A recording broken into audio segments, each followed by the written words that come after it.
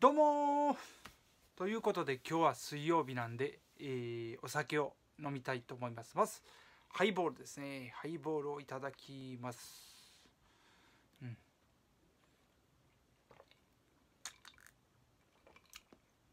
あうまい。ティーチャーズのハイボールです。今日はティーチャーズのハイボール。うまいのはうまい。うん。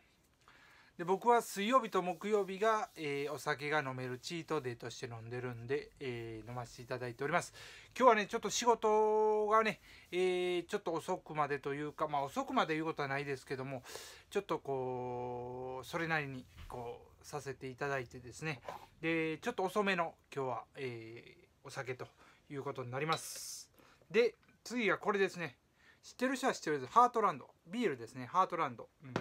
キリンやったかな。キリンのハートランドをちょっと飲みたいと思います。あっと。よいしょ。これがねなかなかうまいですね。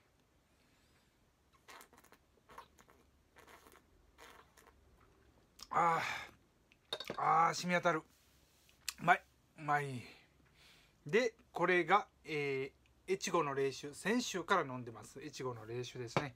えー、もうだいぶ減ったんですけどもですね。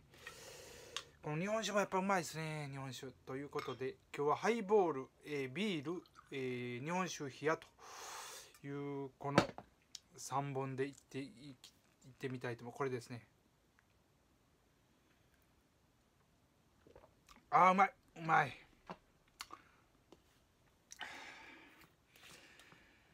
まああれですね、えー、今週もねこういろいろあってってあってというか僕の中ではやっぱ全力をこう尽くして、えー、1週間終えて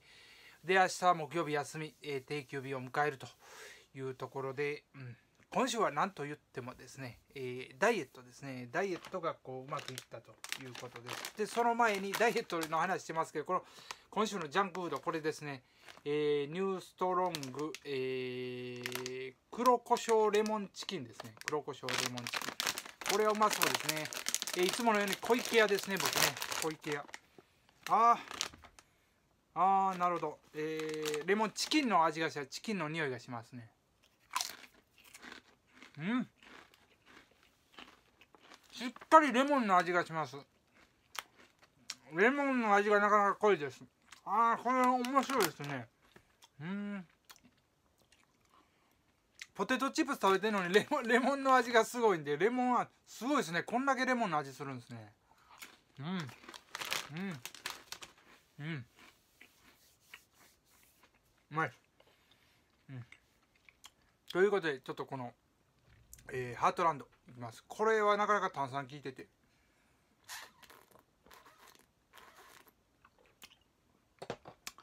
で今週ダイエットトの話さっき言いましたけどもダイエットがですねあの1週間で1 5キロ、えー、減らすことができましたと。いうところで今日でだから76キロになって76.0キロになったんですね。で先週が77.5その前の週が78やったんですね。ほんでえー、今年の初めが74キロぐらいだったんですね。だから4キロリバウンドしてですね、ほんで、えー、そっからこうちょっとずつ減らしていって今、えー、2キロ減って76キロ。だからあと2キロ減らすと、えー、今年初めのね、体重に戻ると。で、目標体重が72キロなんで、その72キロに向かってそこからやっていくと。だからあと2キロちょっとこう頑張って減らしていって、えー、今年の初めに戻してそこからこうスタートさせていくと。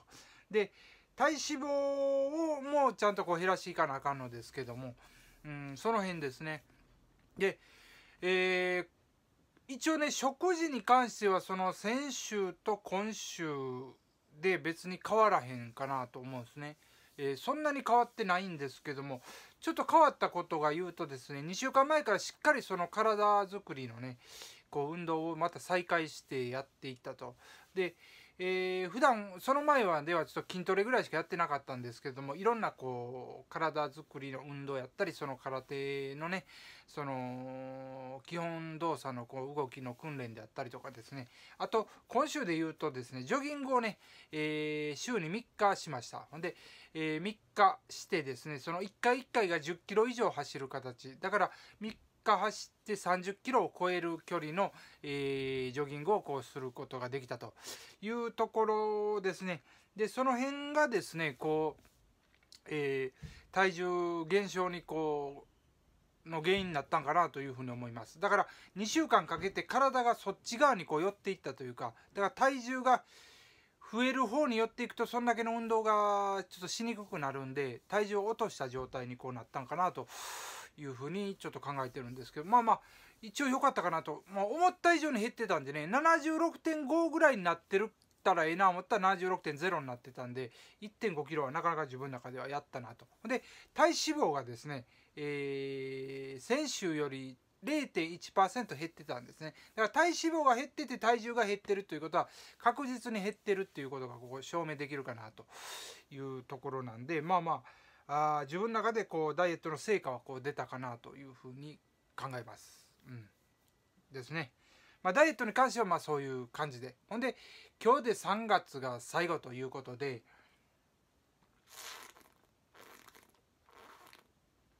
あのー、あれです自分のお店のね売り上げなんですけども売り上げというか売り上げ自体はうん2月よりはちょっとだけ良かったんですね。最終的に。2月よりはちょっとだけ良かったですね。うんもうちょっと伸びるかなと自分の中で思ってたんですけどもそこまで伸びずに、えー、1月の売り上げは越せなかったんですけど2月の売り上げは越してで3月。ほんで、えー、一つ良かったのがですねそのリピーターの数が2月1月2月より3月の方が多かったということはまあまあいいことかなと思ってます。で3月はですねご新規さんのお客さんがちょっとこう、えー、少なかったかなというところですね2月1月2月と比べて3月はやっぱ少なかったということでで4月もその売上動向で言うとですねやっぱりそのご新規さんのこの増減によってちょっと変わってくるんですけどもそのリピーターさんがちょっとずつ増えていくという、えー、形になっていってるんでそのいいかなと思ってます。だから去年からこうずっとこうちょっとずつリピーターさんが増えていく形やったりちょっとその月によっては、えー、先月より減ってるとかあったんですけどもそれがちょっと安定してきてですねリピーターさんが微妙にほんまにちょっとずつですけど増えてきてる形になってるということがこういいかなと。でそれもそのリピーターさんが増えてくるとですねその売上的にはちょっと安定してくるんですよね。でそこにプラスアルファとしてご新規さんがどんだけその月に来てくれるかっていうことになってくるんでほんでそのご新規さんからこのリピーターさんがこう、えー、どれだけできるかなっていうところですね。だからまあまああの、大きく見るとまあ順調は順調であるかなというふうに思います。その大きく見るとそのいろんなことで上下はありますけどもまあ、えー、一応そのまあプラスでこう動いてるかなというところはあります。だからでも安心できることはなできる感じでもないんでですね、えー、ちょっとその集客のためにねちょっと動いててみようかなと。その予算にもよりますけどもちょっとそのちょっとこうご新規さんを増やす形のね、え動きをちょっとしてみてもいいかなというふうに思ってます。んで4月にもしできたらですねそれをやっていってですね4月にやっていって成果が出るのがまあ5月ぐらいかなと5月6月でちょっと何かこう、えー、ご新規さんの成果が出てくる可能性があるかなということとあとはまあリピーターさんというか1回2回来ていただいてまたこう思い出していただいてこう来ていただける形に、なる人が何人かいるかなというところではあります。ただまあまあ予算お金がちょっとかかることなんでちょっとできるかどうか分かんないですけども、えー、それなりにこう予算使えるところになればですねそこはちょっと GO していこうかなというふうに思っております。ということで今週の、えー、ぼやき、えー、まあまあダイエットですね1.5キロ痩せたということで、まあ良かったかなというところで終わりたいと思います。ということで、ありがとうございます。